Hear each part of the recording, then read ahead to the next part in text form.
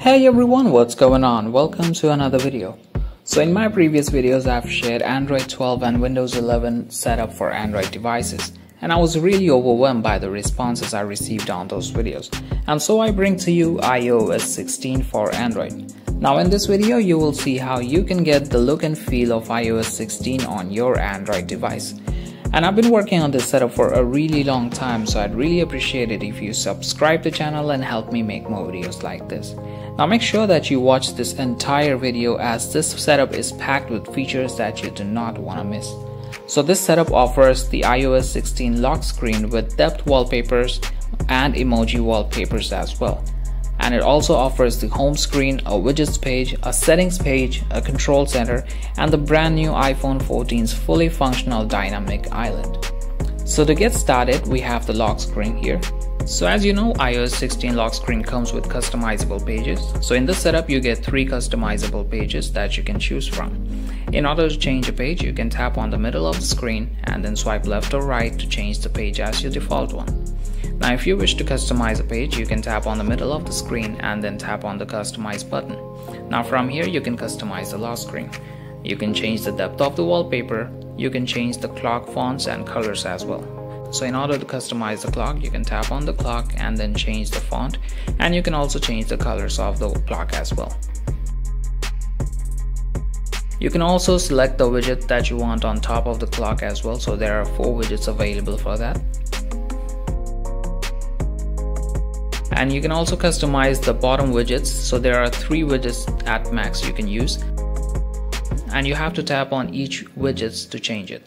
If you do not wish to keep any widget you can just cross it out. So that is how you can customize the lock screen. And you can also change the wallpaper of the lock screen by tapping on the plus button. Now coming to the home screen, the home screen also offers three pages with two application pages and one widgets page. The widgets page also supports vertical scrolling as well. Now if you wish to customize the home screen, you can simply go to the settings and then tap on wallpaper. So if you want to customize the entire wallpaper, you can tap on the lock screen and from here you can select any wallpaper. So whatever wallpaper you select from here applies to the entire system.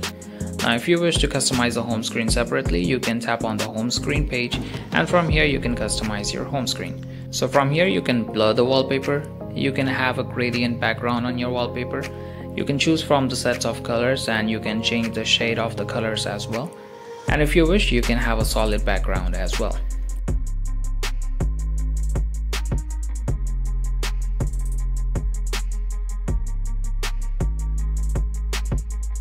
Now if you want to change the wallpaper on the home screen, you can tap on the picture button and from here you can select the wallpaper that you wish to keep. So this way you can have a different wallpaper on your home screen and a different wallpaper on your lock screen.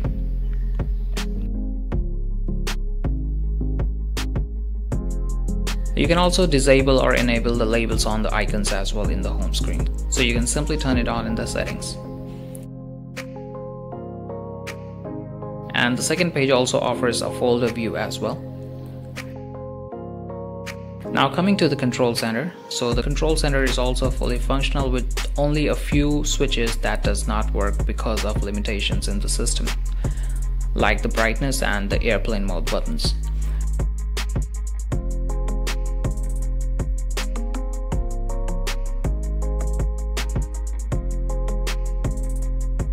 You can also enable or disable the dynamic island from the control center.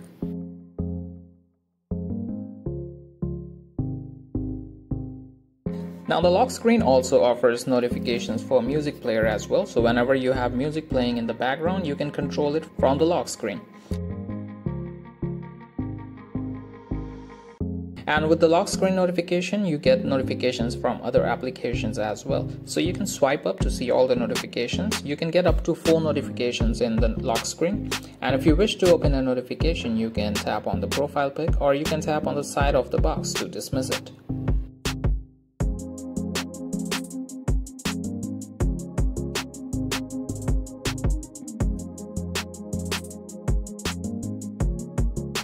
And now coming to the dynamic island. So the dynamic island reacts whenever you change the ringer mode of your phone or you connect a Bluetooth device or when you plug in your device. The dynamic island also reacts whenever there is a music playing in the background, so you see an album art on the dynamic island and a visualizer as well. And you can also tap on the dynamic island to open music controls.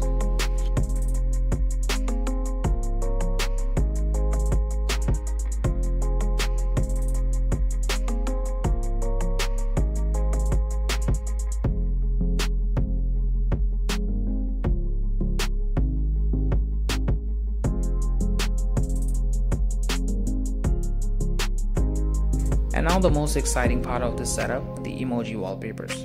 Now these are not just wallpapers, these are actual emojis that you can select from your keyboard. So you get the full control of the emojis. You can choose from any emojis that you get on your phone.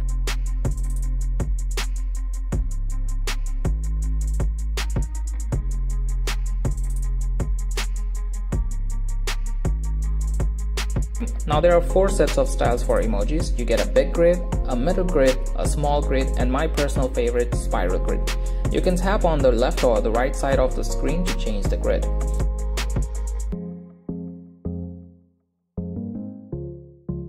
You can also customize the background for the emojis, so you can select a solid background. And in this setup, you also get a gradient background that iOS 16 does not offer. So you can select any sets of colors for your background. So that is all about the setup. Now coming on to how you can set this up. So to get started, the first thing you have to do is go to the link in the description and download all the materials required for this setup. Now make sure that you download all the folders and application and install it on your phone. Once you have everything on your phone, just go ahead and open this Nova launcher. So we'll start by setting up the launcher. All you have to do is long press in the middle of the screen and go to the settings. Now click on home screen and from here you need to change the dock settings. So you need to disable the dock. Now just go back and you have to change the search bar placement to none. And make sure that the wallpaper scrolling is always turned on. Now do the same for the page indicator as well and set it to none.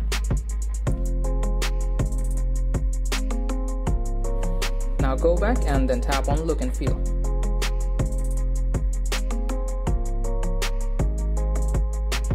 So as this is a portrait setup, make sure that your device orientation is set to force portrait and then we have to disable the notification bar as the setup already offers a notification bar. Now we're going to set up the advanced feature of swiping up and down so for that just go ahead and tap on gestures and input and then select swipe up and then go to the shortcuts. Now there's a problem here, it might be a glitch or something that the KLWP application is not showing here. So if you see a KLWP application here, just tap on it and in the global, type in the name as scroll, S-C-R-O-L-L and in the value put in up.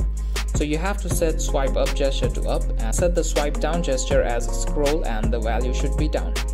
And if you don't see the KLWP application on your device as well, don't get disheartened. I already have made a backup of this setup. So you can simply download the backup file and then go to restore and backup and tap on restore. And from here, just select the backup file. And that would be it. You won't have to do anything more on the setup.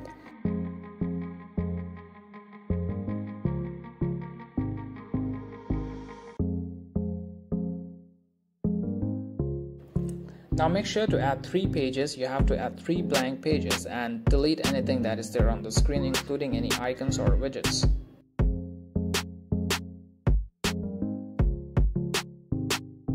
Now open the iOS theme that you have downloaded and tap on this theme. So this will automatically load to KLWP and make sure that you allow all the permissions that is required in the KLWP application in order to make it work properly. Now coming to the customization of this setup. So from here you can customize your entire setup. Go to the globals and from here you can change everything. So if you wish to change the name and the profile picture you can change it as per your wish. You can erase the name and put in your name.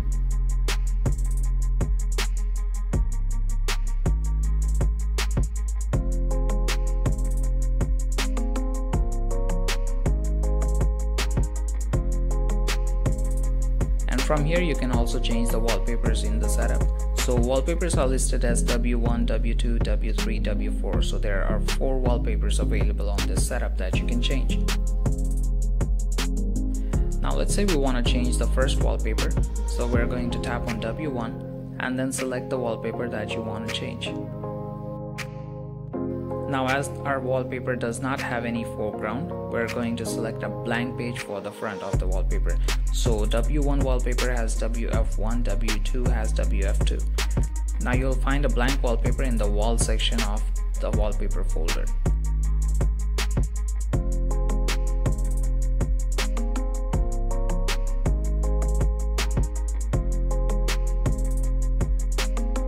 So if you want to download the wallpapers i have linked all the wallpapers in the description and i have also linked a folder of the wallpaper that i have uh, designed. These are not my wallpapers but i have designed it to make it work in the depth mode. So you have to download all the wallpapers in order to change the wallpaper and if you want to change the depth wallpaper. So let's say if you want to change the depth wallpaper we're going to tap on w2 Now go to the wallpapers by brown folders. So as you can see there are two wallpapers for every wallpaper. So one has the background and another has the foreground. So now we have tapped on W2 so we are going to select the background.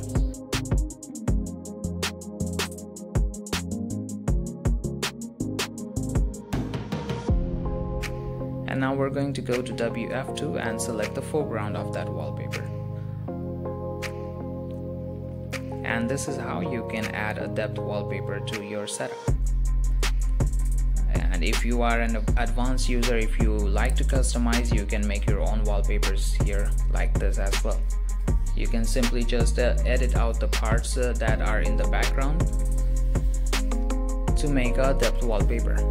Now coming to the emojis. As I said that you have full control of the emojis you can select from any emojis that are available on your phone. You can select any emoji that is there on your keyboard. But make sure that you add at least three emojis. So even if you are going to use just one emoji make sure to add three set of that emoji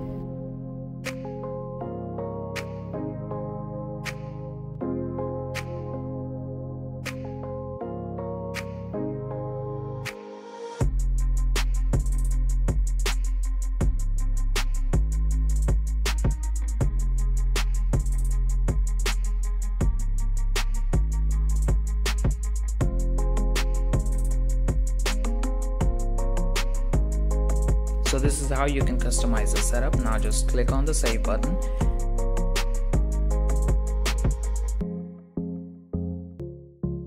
And then set it as your home screen wallpaper.